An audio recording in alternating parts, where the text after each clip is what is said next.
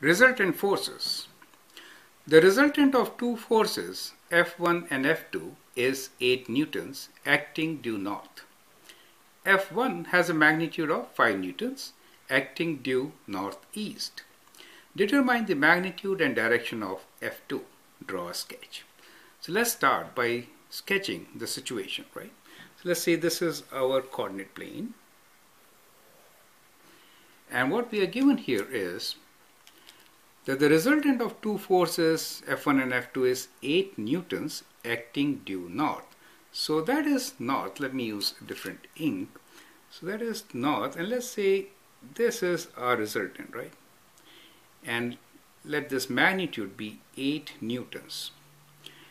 We'll call this as resultant R.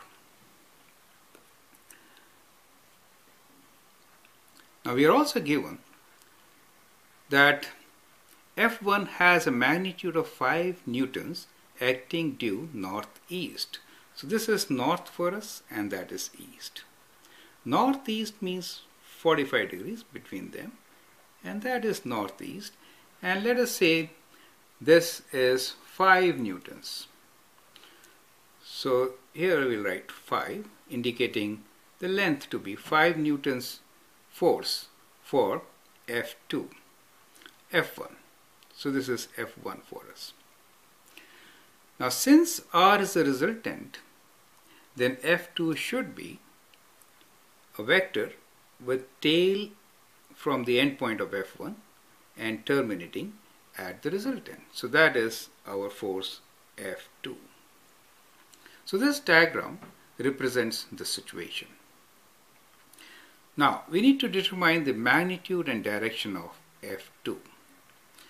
What we are really given here in this triangle is two sides and included angle. Now this angle is northeast with north which is 45 degrees, correct?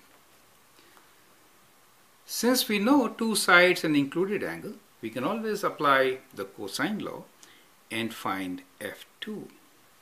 So F2, the magnitude of F2 is equal to, let me write F2 square first and we'll square root it the square of these two sides which is 5 square plus 8 square minus 2 times 5 and 8 times cosine of the angle in between which is cos of 45 degrees. Now we can use calculator and figure this out. It is 5 square plus 8 square minus 2 times 5 times 8 times cosine of 45 equals to, let's put it in decimals, 32.43. So magnitude of f2 is going to be equal to square root of 32.43. So square root of this is equal to 5.69. So let me write this as 5.7 newtons. So now we know the magnitude of F2 and it is equals to 5.7 newtons. Now we need to find the direction, right? Vector means we need to find both magnitude and direction as specified in the question. Now since we know one set which is side and opposite angle, we can use sine law and find one of these angles. Let this angle be angle theta. Now in that case, sine theta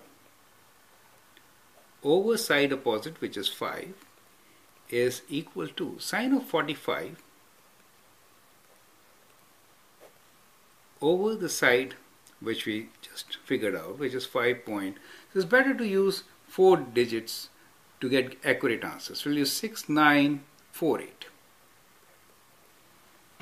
right instead of 5.7 we rounded this figure up. Now from here we can find what theta is. So we can find that as sine theta equals to 5 over 5.6948 times sine of 45 degrees correct? Let's use calculator to find this answer. So it is 5 divided by 5. 6948 times sine of 45 degrees which is 0.6208 0.6208 now from here theta is equals to so from here we can say theta is equals to sine inverse of 0.6208 and that is equal to second function sine inverse equals to 38.37.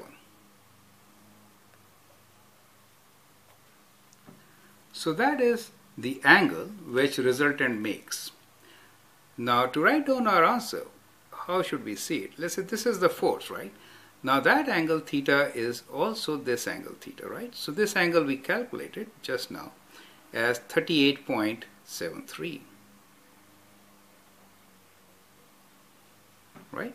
So we can always say that the resultant is making, or rather F2, the force F2 makes an angle of 38.73 towards west from north, right? So that is our answer.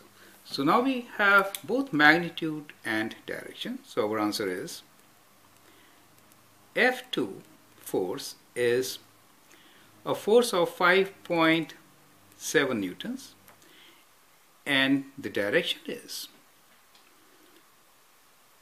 from north 38.73 degrees towards west.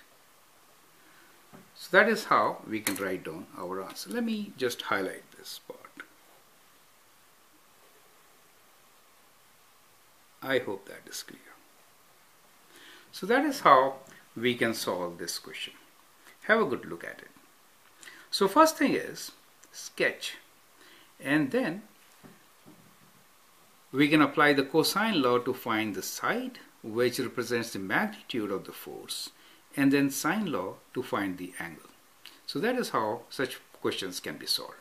I hope you appreciate it. Thank you and all the best.